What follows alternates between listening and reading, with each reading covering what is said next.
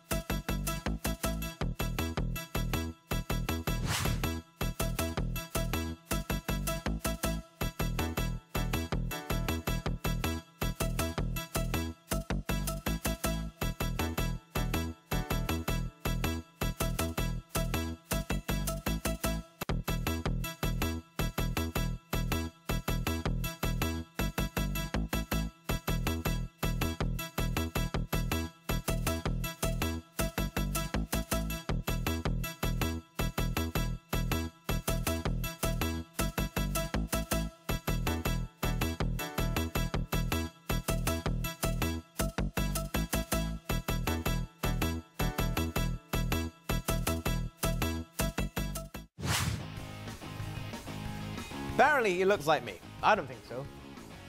He should look like me. But speaking of Superman, you may have noticed in the movie that everybody was using those Nokia phones. Well, guess what? Nokia out with a brand new one, and I wouldn't say it's a phone, it is a phablet, and it is awesome. I got my hands on it, 1520. Here's my review.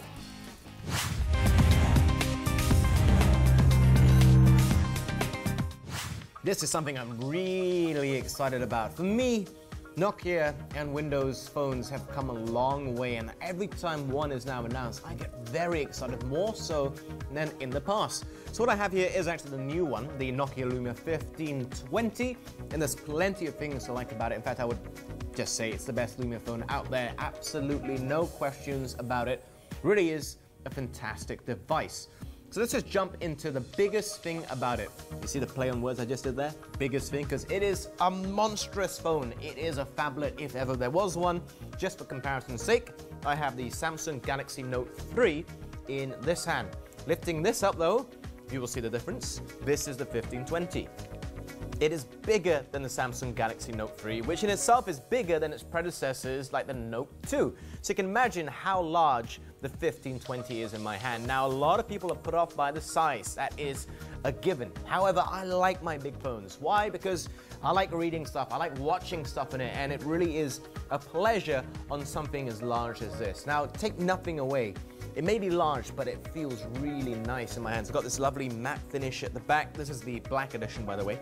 And oh, it's beautiful. The full screen, I mean, it's full HD. The first time we've seen that on a Lumia, it just illuminates so nicely. I mean, if I show you that, it is, oh, it is crystal clear. I mean, it, I can't get over how nice this is. I'm going to put this down.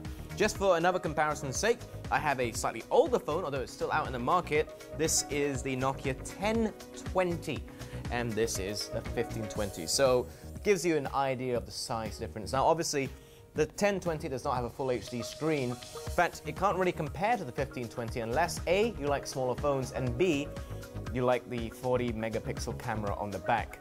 This one only has a 20 megapixel camera, the 1520 that is. I'll touch on that more later, but it does allow it to be a lot more flat on the back as opposed to the 1020 right there. Okay, enough about how it looks and how big it is. Let's get down to business.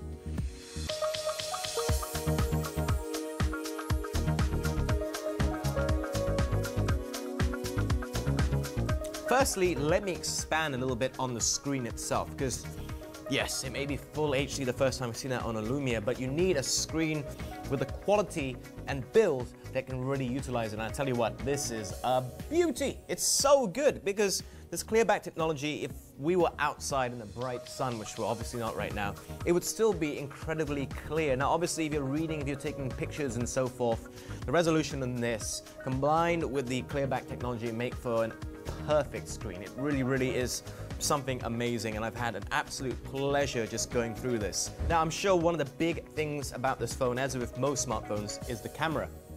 This is a 20 megapixel camera.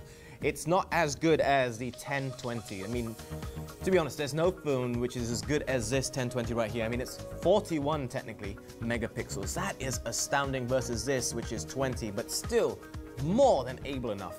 It doesn't feel as top heavy or back heavy in this case as a 1020. So that's a good balance right there as you're holding it or when you want to take pictures, etc. However, don't expect to pictures to be quite as sharp, quite as clear as a 1020. But then again, no other camera phone out there can compete, nor can a lot of point and shoots either. This is more than able to doing a good job. Combine that with the Pro app, which actually comes onto this, you get some really, really cool pictures because you get a 16 megapixel version and you also get the 5 megapixel version as well. And obviously, you want the 5 megapixel one for sharing on your Instagram or your WhatsApp and so forth. It still is one of the best cameras out there. Nokia really know how to make sure you capture good pictures. On top of that, there's four microphones here. So in terms of audio, it's also excellent when you're shooting your videos. Probably the best out there in my opinion.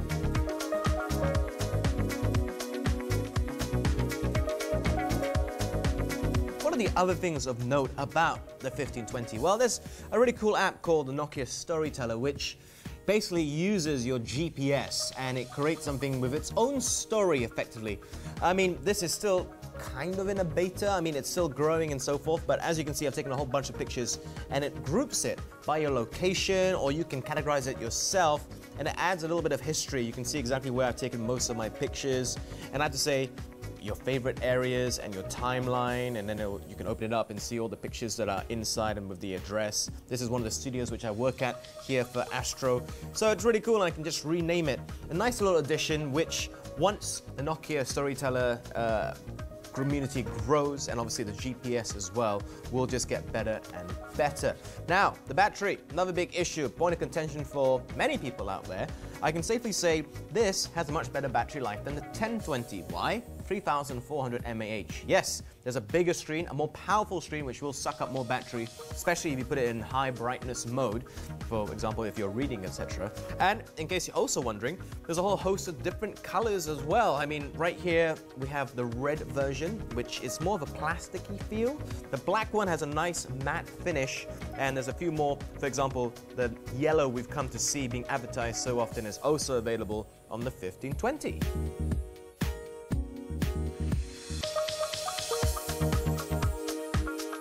So what do I think about this in closing? It's a fantastic device. It's really, really nice. It is the best Nokia Lumia Windows phone out there. Well, bar nothing really. It really rocks.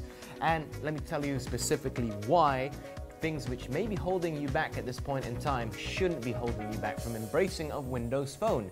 The applications, people say the, the marketplace just isn't as big. Yes, that's true, but it is growing. For example, shortly after the 1520 launched, Instagram, the official one, official app came out, and it's really cool, it's really nice. But I was using another Windows Instagram application called 6tag, which I would argue it's much better than the actual Instagram one. There's a lot more I can do with it.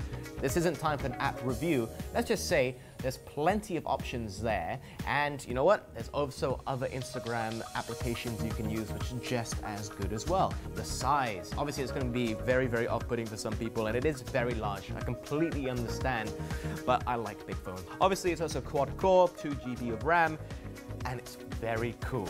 However, the size. So I got myself thinking. Now the 1020 here is a good size for most people, and it's got that 41 megapixel camera. So I think the next big phone for Nokia will have exactly what the 1520 has, but something more this size. However, Take nothing away from this. Yes, it's a big phone, but there's plenty underneath it to really make you fall in love with it. A solid 4.5 out of 5 from me here, the Nokia Lumia 1520.